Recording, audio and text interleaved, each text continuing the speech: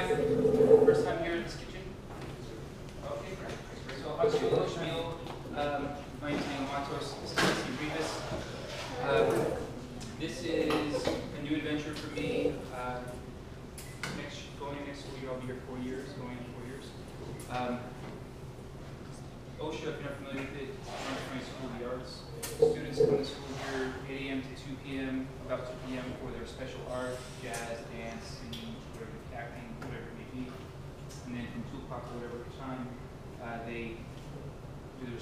sorry, reverse.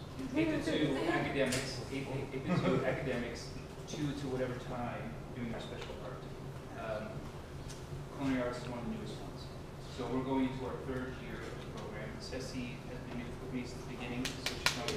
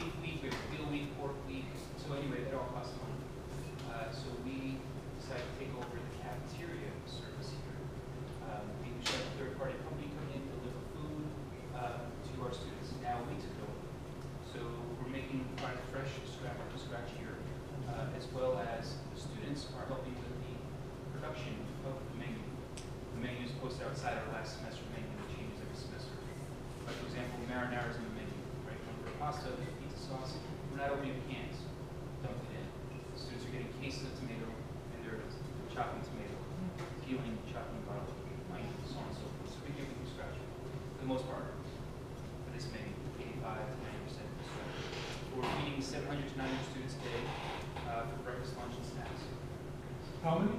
About seven to nine hundred students. Oh, wow.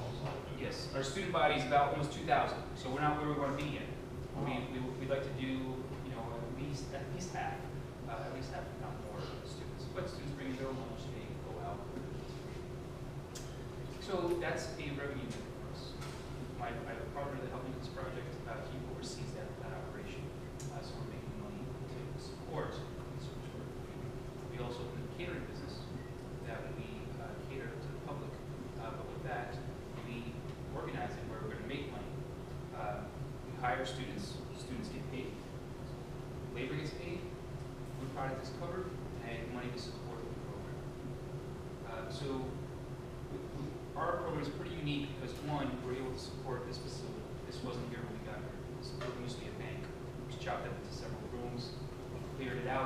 designed it in we had this kitchen.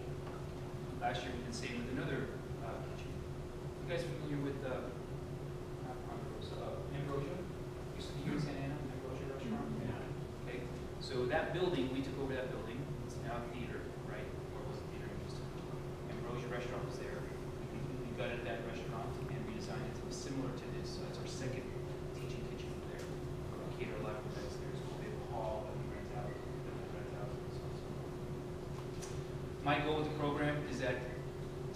graduates, so it's, it's four years with us, graduates, says, you know what, I loved the savory side of cooking, I love baking pastry, uh, but I really enjoyed the, garm, uh, the, the management, culinary management. She's going to find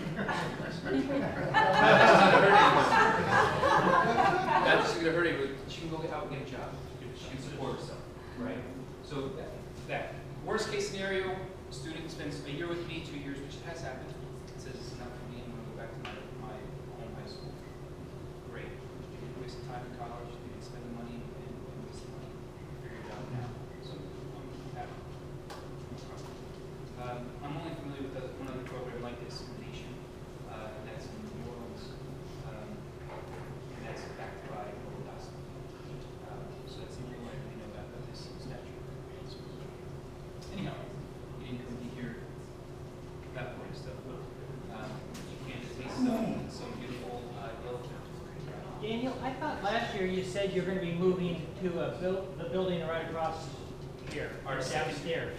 Our second kitchen, we did. Uh, it's across the way, and that's, that's the Ambrosia. Ambrosia, restaurant. okay. That's good. So we have two, two full facilities, two Okay. kitchens that we. So that one student, a group of students might be in kitchen, and the other group of students might be in lecture. Next day, they switch. Um, so yes. Other questions on the program at all? Do you, do you use locally sourced, like, pro- do people donate produce and stuff? When you walk in, there's a sign above our doors here, those are all the companies and people that have supported our program. Either donate equipment, or give it a very good discount rate, uh, or give us breaks in pricing, uh, for our uh, products also. Um, We just got a bill last year, and we, when you leave, walk outside, look through these doors, uh, we're building a garden. in the patio. It started as a garden, but now, um, now we changed it to an eco center. So it, the idea is I involve the science department, uh, the production design department, in helping us building it. The science department helps run it, where we collect water, uh, we'll have some solar panels, uh, we'll grow herbs, natural herbs that for use for dyeing clothes, uh, because they're talking about doing a design program. Uh, doing herbs, vegetables that we'll use here. We won't grow as much as we need, some, and the students get to see, it out of the ground and tasting it, whereas it tastes organic and local. Uh, Real tomato, and eaten in the right season. Uh, We'll be growing hydroponics and as well as in soil, right? So we're looking at a teaching moment that we use in our. Um, So to talk about teaching moment, you guys guarded the hill, uh, beautiful, great form. Uh, This morning, we were having to eat proteins and seafood meat, so we had to talk about with the students the whole seafood, right? I, I don't have, I have a decent budget, but I don't have a budget to go get whole yellowfin. So that was a real treat, right? Some of these students may never see that again, uh, at least in the next four years, because I can't do it, but these guys got to do it. So we had the yellowfin, we demonstrated how to break it down, um, we talked about freshness and, and chilling it and so on and so forth. So that was, that was great, so thank you very much for that, I really appreciate that. The tuna, I weighed, the average weight is around ten pounds. Um, I did a yield test on it, meaning, uh, what was useful from it. So if you guys gave it to me without fins and no, without head, uh, eviscerated, no gills. Uh, so it was about ten pounds. Believe it or not, usable product's about nine pounds, almost nine and a half pounds. Skin, vertebrae, about a half a pound, right? So it's, it's really good. So it's, it's great. It's awesome. Um, and the product was really fresh. We got to slice it. Students tasted right there. I was very proud. Most of them were like, yeah, I'm all, I'm all over it. That's great. That's great. Um, now I'm excited. Um, so,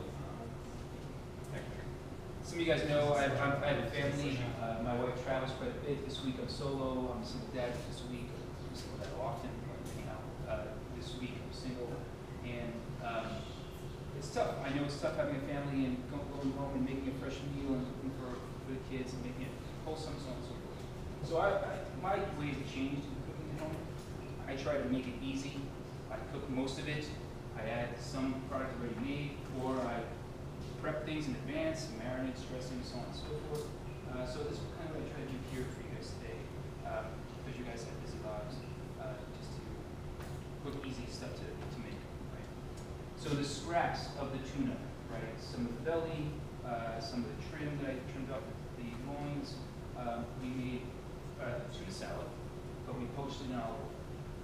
Okay, so tuna, a little bit of olive oil, tuna cut in like pieces like about that, or scrap pieces in there.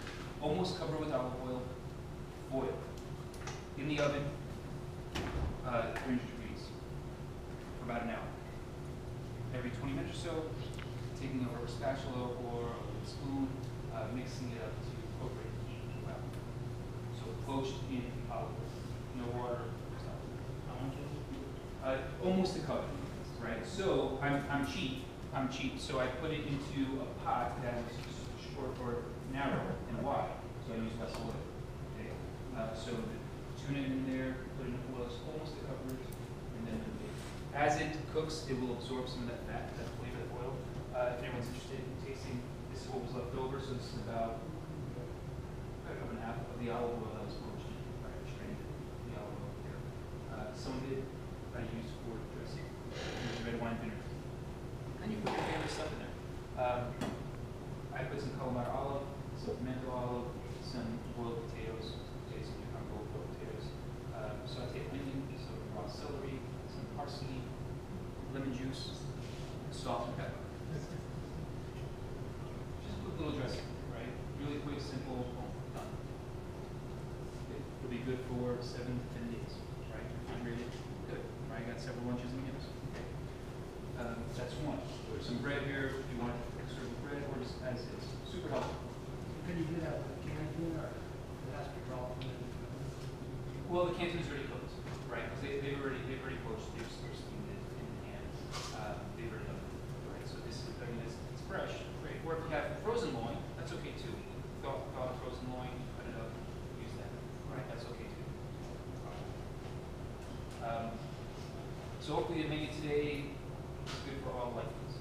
Um, just made a s- just a salad, uh, with some vinaigrette, um, some cucumber, some onions, some radishes, three types of lettuce, just a, just a couple. We have some pineapple, right, crushed pineapple, cilantro, uh, and a little parsley, and then, um, Mae Ploy, right, a sweet chili sauce, right? Simple, buy in a jar, right, just add it to the pineapple just a little bit, pineapple starts to leach out. Actually, so, Ceci, can you move the mouse for a quick second? Just to shake it. The TV is on here, but it wants signal. Oh, perfect. Yeah.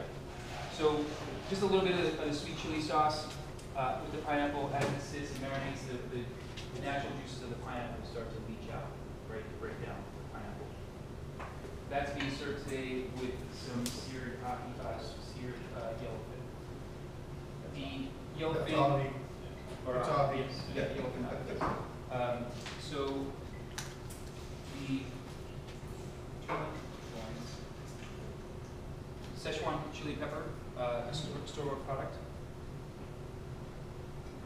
Another store-bought product was a seaweed mix, right? So it's dried seaweed, several different types. Take that, mix it all up, and mix it in with the chili, the chili flake, uh, salt, pepper. Okay, So that's what I just put over, over the loins, seared it, sliced it, uh, serving like that with the pineapple sauce. Okay, so spicy with the sweet. That's what we have here. What we sliced up. You see in the. So I think it's important when the, when slicing tuna like this, I'm sure you guys know already, um, using a sharp knife. Yes, please. I guess I don't understand searing very well. I mean, you're- you're rolling that over, how do you sear it? I guess that's the question. Okay, so first the the spices, loin, I, I, I was cut clean, I I rinsed it, had it dry, let it air dry in the refrigerator. Uh, then I roll it in the, in the spices. In a pan, a flat pan, a hot pan, so the metal expands, a little bit of oil, and then I place the tuna in the, in the oil, let it sit. If you try to move it, it's sticking, that means it's not ready yet. So give it another minute, then flip it over. So I just go from side, or all sears, right? If you want it more rare in the center, be sure the pan is very, very hot, uh, so it spends less time in the pan. Uh, or you can lower the heat and cook it more well through, okay? Some of these are well done, some of these more on the easy side. Okay? Is that okay? Perfect. That's perfect, so please ask questions. I tend to ramble, uh, so stop me and ask me questions. Uh, Knife, you notice I'm putting fingers on both sides. That's just to support the tuna, okay? I'm putting it there so it supports, so it doesn't tear, tear the meat up, right? It's also a good, good way to measure as far as fingertip, whatever thickness you're looking. Uh, you notice also what you're, what, when I'm slicing meats or fish or whatnot, uh, try not to saw the meat, because then you leave saw marks in the, in the product. Is there a specific kind of knife you prefer? Uh, it's called a slicing knife, right? So a slicing knife, this one has little air pockets, right? These little scallops, so it helps stick. It's also, this is, I prefer this knife as well as when I'm, when I'm filleting fish or skinning, skinning fish. So the air pockets go between the skin and the meat and it's nice glide right through. Um, you don't want to use serrated, serrated is gonna chop it up. Uh, so what I try to do is I try to cut forward, pull back. You have a long, you have a long blade, so take, take advantage of that blade forward, back, so it's just two cuts. That's really what you're doing. Okay, so that's what we're looking like. And you slice as thin as you want or as thick. The less well done it is, the cleaner it's gonna be, the less fragments you're gonna have. Okay. So I took that, just fanned it out. Yeah.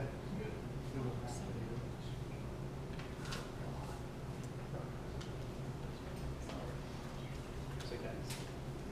Again, something simple, quick. That, that literally took about ten minutes to make, right? Once I had the spice mixture made, once the tuna was out, obviously butchered, ten minutes,